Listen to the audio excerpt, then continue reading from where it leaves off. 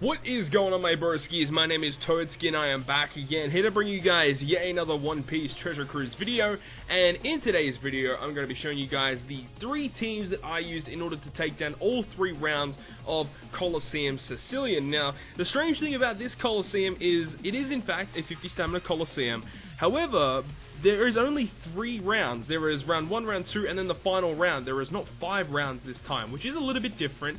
Um, and strangely enough, this Coliseum, when it came out in Japan, was uh, aimed towards the Germa 66 badge. And it is interesting that they bring this specific Coliseum out now.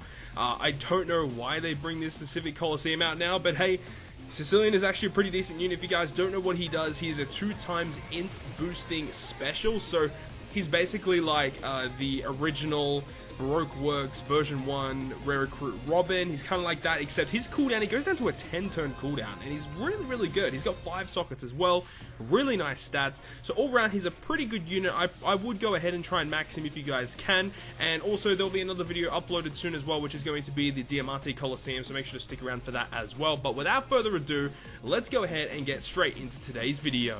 Round number one is going to be against Momonosuke. Now, Momonosuke has 2.2 million health and attacks every turn for 4,800 damage. The surrounding bodyguards only have about 30,000 health and they'll attack every turn for 4,200 damage. He has a preemptive attack that ups his defense and also rewinds your top row characters for two turns and also makes your ship effect invalid for three turns as well or for two turns. Uh, and but under 50 or 20%, he doesn't actually do anything. So basically, just deal 22 million damage in one turn, and you're going to be fine. You're not going to have to worry about any specific abilities. So I'll see you guys on round number two of the Coliseum.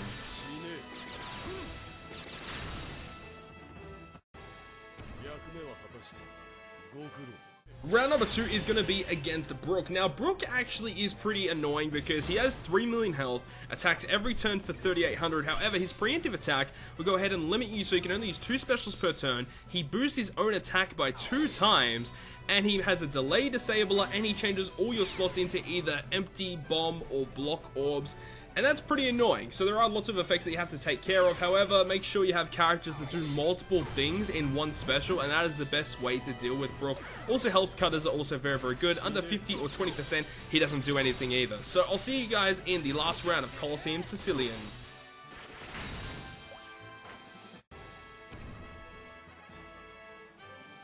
So on the final round of Coliseum Sicilian, on stage 3, you have to fight Carrot. Now, Carrot has the ability where she paralyzes your entire crew for 3 turns, and also has a 3-turn debuff protector. Now, she does have the surrounding dinosaurs, which can be quite difficult to deal with. They do a lot of damage, although they don't have a lot of health. So make sure to take those guys out first, and then you can take on Carrot. Carrot does nothing under 50 or 20%, so you don't have to worry about that. Uh, but you don't actually have to deal with any of the previous stages, either Momo or Brook. You don't have to deal with any of those characters when moving on to this Sicilian stage. So that is something really, really nice to uh, take note of right there. But after you take down Carrot, what you want to go ahead and do is is take on Wanda on the fourth stage. Now, Wanda has 1.35 million health and she'll attack every turn for 6400. Now, her preemptive attack will go ahead and change uh, all your orbs into either tandem, block orbs, or meat orbs. So you just want to be careful about that.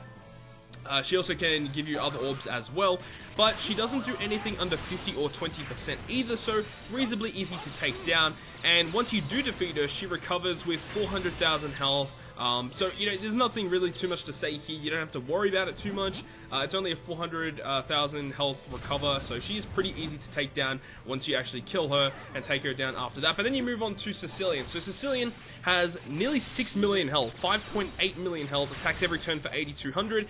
Now, what he'll do is, is he has a poison disabler, so you cannot poison him like with Magellan or anything like that.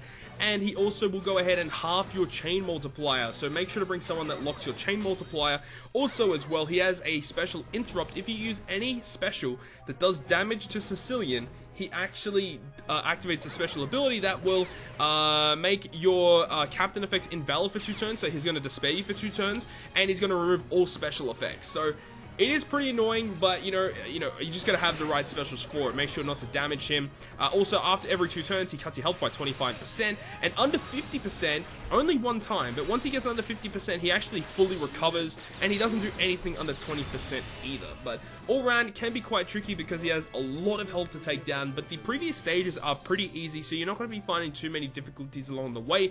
The major difficulty is to be Sicilian himself, but I hope you guys have enjoyed this video, and if you guys have enjoyed it, make sure to smack the like button down below, and if you want to stay up to date with all the content I post on my channel, including more One Piece Treasure Cruise content, make sure to hit the subscribe button down below, but without further ado, I'll see you guys within the next video.